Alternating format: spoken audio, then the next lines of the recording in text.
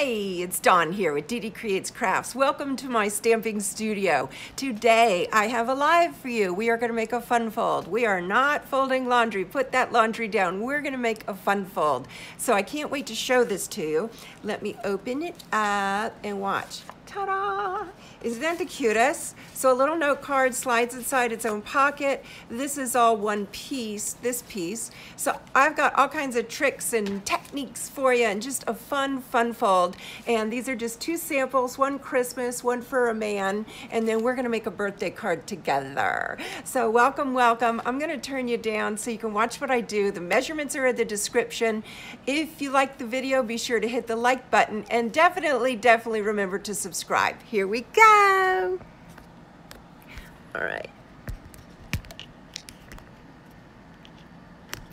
I'm gonna make sure you can see. Okay, so here is an eight and a half by 11. So this is our base, what I'm calling a base. This is not the foldy part, this is the base part. So we are gonna cut the base at five and a half, which we're used to. So watch, when we cut the five and a half, you can put this aside and it's gonna be good for another regular A2 card when you fold it. So now we've done our five and a half, let's turn it on the long side and cut at four and one quarter. And you know what that does? It gives you two bases to make two of these cards. So we have just made three bases for three different cards off one piece of cardstock. So I'm gonna use this piece and put it right there. This is a pretty, pretty piece of print paper. The back side's black and white. How fun is that?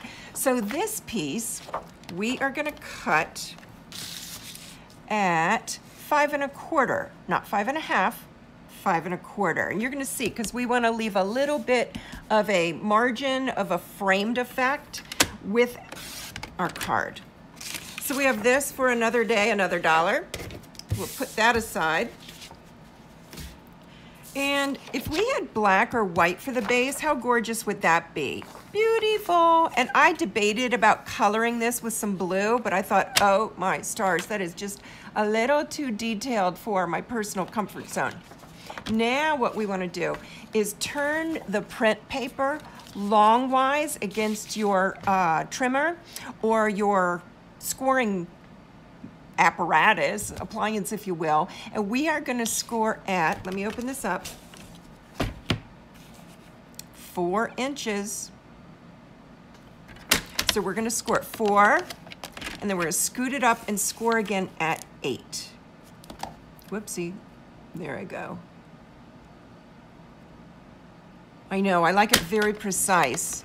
I just do. And sometimes with fun folds, you have to be precise. I think I want to go in. I'm going to fold it in this direction, make this be my opening because I'm going to show you, I want my little half circles to be facing almost like they're standing up, if you will, for when I close the card. It doesn't matter. That's just me being picky. So I'm going to want this to fold. Let me open one of my cards see what direction. I actually went in both directions, so it doesn't matter. Let me show you.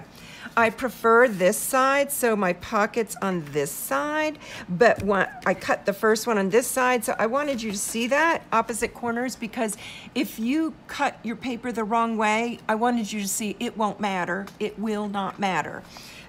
You'll get a preference and you'll see how to fold, so I'm gonna see which way I'm gonna experiment. If I cut this way, cut that off and that will fold up.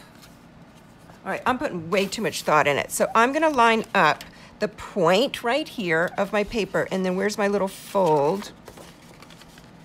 There's my fold. So the fold line, which is hard to see, I'm gonna line it up on my edge where I'm gonna be scoring and put the other right down there. trying to see. I can't decide with my cup. I might fold it. Let me just score and see if I'm gonna like that. So that'll be folded away and then that will fold up. All right, I think I'm gonna like it. I had to see. Sometimes it's good and we just have to do that, don't you think? I am, I'm gonna put a little mark there, you guys. Maybe I'll just flip it over. I'm having difficulty seeing my poor little baby fold line. So there's that one. And then I gotta come down here to my point. You bring that back over. This is easier to see. Not by much though, is it? All right, bear with me. I'm gonna do there and there.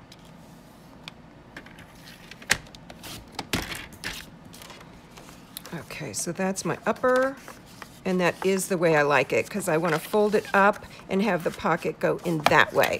So just play with it, and if I'd have cut it the wrong way, you saw from the first cards, we can literally use any side we want. So let me go ahead, get my little bone folder and press my little creases here. This is going to be adhered down to the base, so it'll look like that when it's closed. But for now, let's just work on the fun part, the decorative part, you know, the fun part. Now to make my pocket, what I like to do, you can use glue, but you know, with a video and to be fast, I'm gonna use some tear and tape. And this is nice and strong as well. So going to very close to the edge without going over. But if I go over, guess what? We can just fold it in on top of itself. All right, rip that off. I do like to give it a little burnishing. And then pick this off, and then we're gonna close it. There we go. Now we just fold our triangle and that creates our pocket.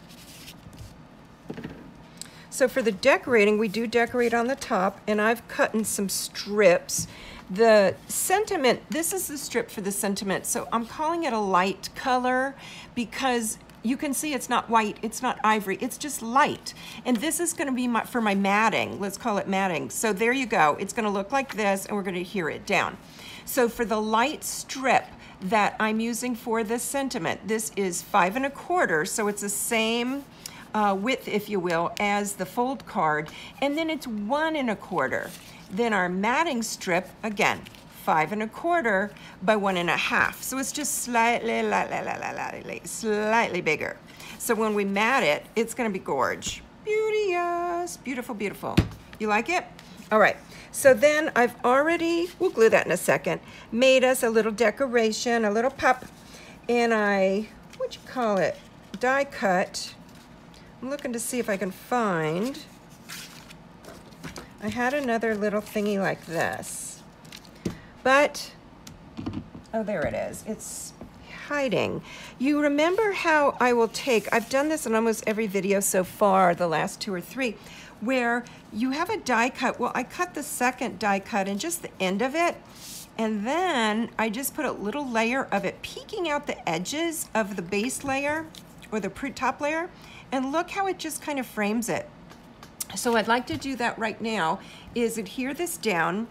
Now I am gonna use glue for this because glue doesn't dry quick and it's gonna give us literally, literally some wiggle room literal wiggle room. Isn't that cute? So I'm gonna do it like that and adhere this down and I may have some, I have a little corner right there sticking out. So I'm gonna come back with some scissors and just, I mean, I don't even know if you can see it right there sticking out. I'll just come back with some scissors and lob that off.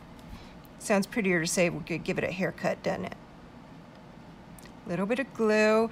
And the wet adhesive glue, say I've got it like that. Well, that's wonky and that's not set up. So the glue's not dry yet, so I can manipulate the bottom layer and get it so it's kind of sorta even with that one.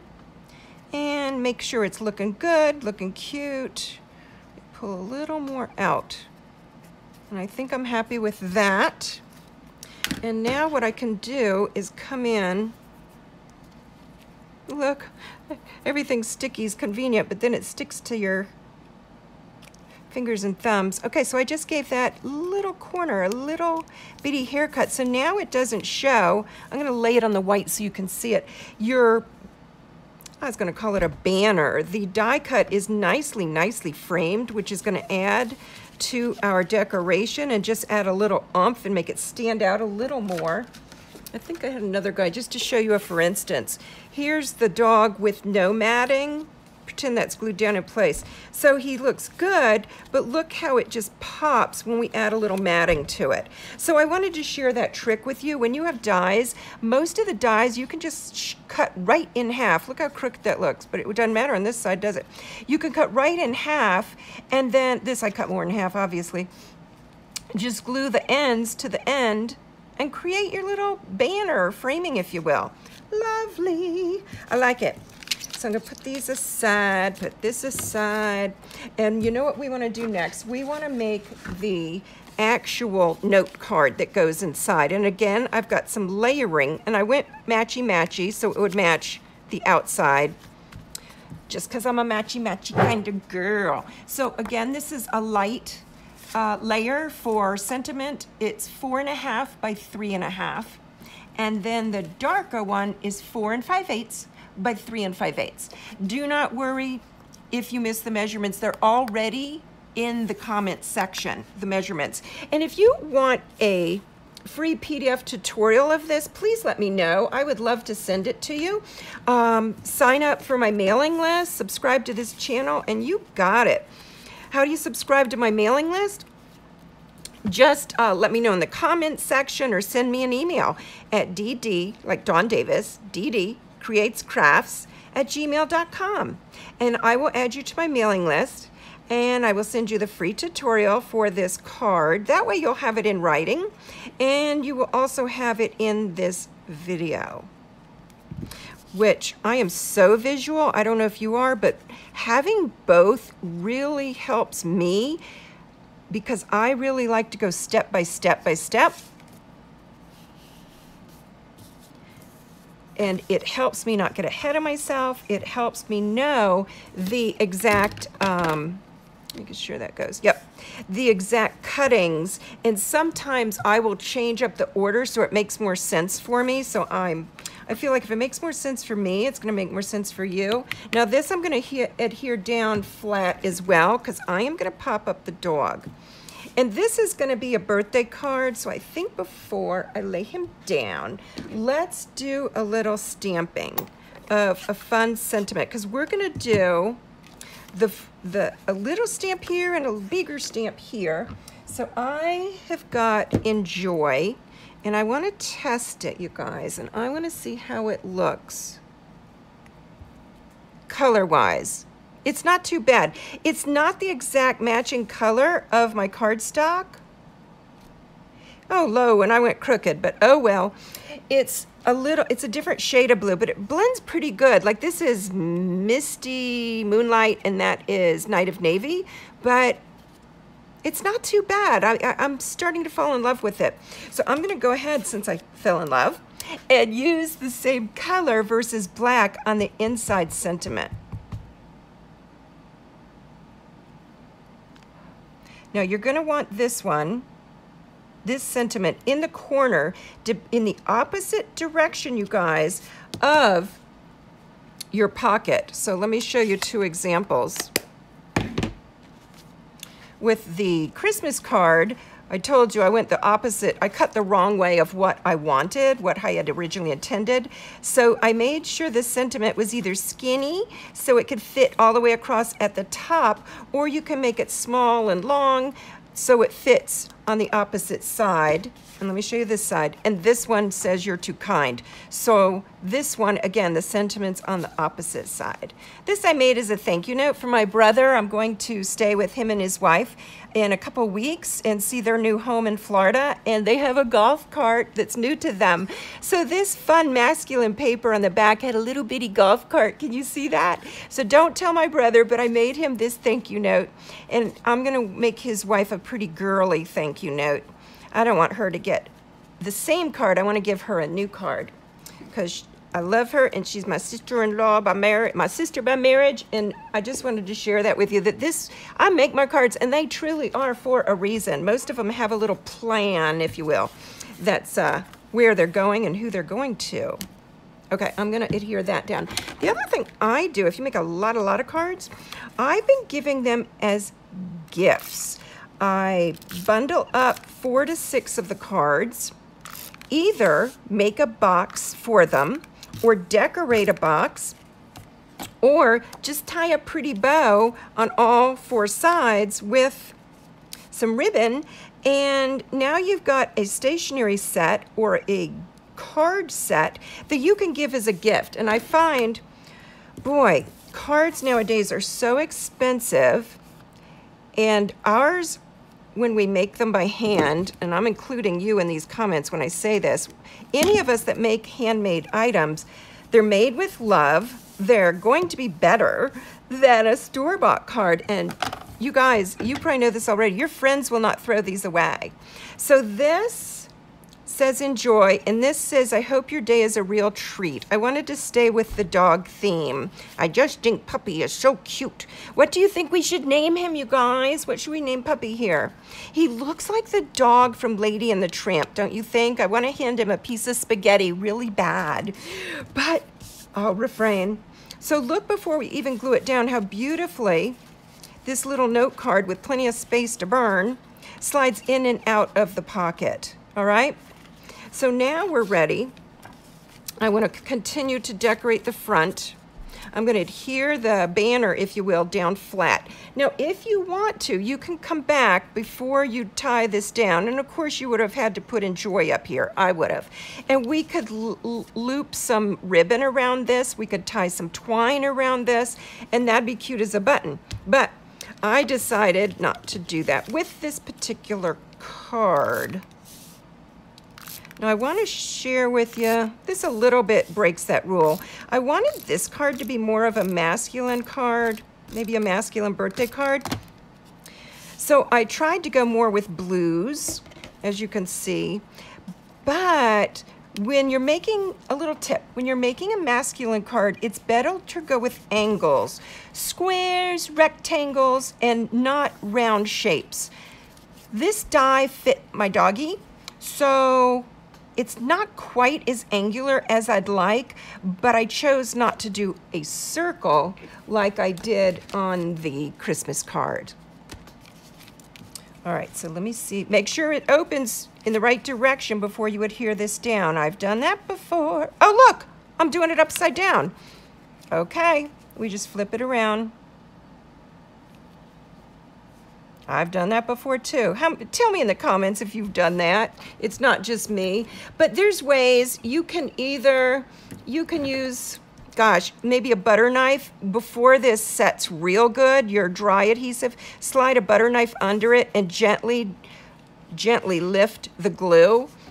Now, it might rip some of your paper, but for the most part, I can reposition this a little bitty bit with my, by removing it. Uh, yep. So I'm going to put some dimensionals on the back. I think I am going to use about five of them.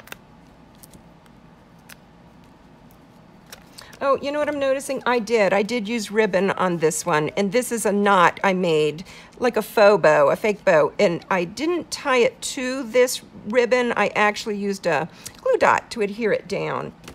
So that being that, let me get all my little guys off. It's two-sided adhesive. It's foam. I don't know if they're hexagons or octagons. Again, you have to tell me in the comments, little bitty bit raised. So, if you've never used these before, when you adhere it down, let me see, I want it, I want it off center, but not too far over. Let me as best I can, straighten him up. Doggy's got to act straight, doesn't he? All right, so we're going to adhere this part down, and we're going to add some bling, and we're done. What? This is a simple card. This is a beautiful beginner's card if you're new to card making. Fun folds, I find, and tell me if you do too. Fun folds provide high impact to the person that's receiving the card, yet it's simple to make. And I especially like to do simple cards because they're duplicatable, because I can make a lot in a little bit of time. Slip that right in the pocket. Close the front door and let's put some bling on. I was leaning towards the darker blue more than the lighter blue. I think if this was for a female, I would use lighter, but I think to make it a little more manly man, I'm going to use this, the darker. So let's see how much and where much we want to put our bling. Sometimes if I get spots, that brush right off, I'll put bling on top of the spot if it's a glue mark or uh, some ink that maybe I smeared. Uh, that part's not fun, is it? I think I'll put that one there. Beautiful. How many of you, this is your first time watching my, one of my videos? Tell me, tell me. And you're gonna laugh. I can create a card, design a card, make a card, and when it comes to where am I gonna put my bling, I am a lost child. I can't remember to save my life. I can't think about it. I'm confused. I'm like, I don't know where to put it. Look at me. I'm all over the place. How about right there? So now I feel like it's a little bit all over. I do try to put it, definitely I use odd numbers. And a triangle is very appealing to the eye. So this is a lopsided triangle because I don't want it to be a obvious triangle. However, you can see how your eye just kind of gravitates. And I also tend to put them where I want to draw attention. So I want to draw attention to the sentiment and then draw attention to puppy. So I put that one probably draws more attention, but actually they both do. What do you think? So here is the card, your fun fold. I hope you love it. You have the postcard base. You have the 12 inch long paper that we folded, cut, all that scored, all that good stuff, decorated, and then we've got the lovely little baby separate note card with plenty of room to write a sentiment, tuck some money or a gift card in there, sign your name, and the recipient is going to be thrilled, in my humble opinion. So I hope, hope, hope you have enjoyed this video as much as I Okay, if that tips over, we'll both know it. That, as I have enjoyed making it for you, here's our little finished product. He's so precious. I'm gonna show it to you one more time in case somebody's joining us late. Funfold. Remember, if you would like the, a PDF tutorial uh, emailed to you, I will gladly send it to you. Just email me at dd createscrafts at gmail.com. I'll add you to my mailing list. You'll get a monthly mailing. You'll know when I'm going live. You'll be um, invited to the card kit class that I offer monthly, and uh, I'll send you the absolute directions how to make this happy little guy. And you just use whatever stamps you have, you decorate any way you want, all up to you, it's personalized. But use this fun fold as a sketch as a sample of making a card for yourself. Borrow, case, copy this idea, and then make this idea for yourself. I do want to see your cards. When you make your cards, would you go over to Facebook or Instagram or Pinterest and please show me your cards. It makes my heart happy to see the cards that you're making and especially when you use some of the techniques or samples or fun folds or cards that I designed for you. I love, love, love that. Remember, subscribe, and I'll see you next Friday. Same time, same station. Bye, you guys. Happy crafting.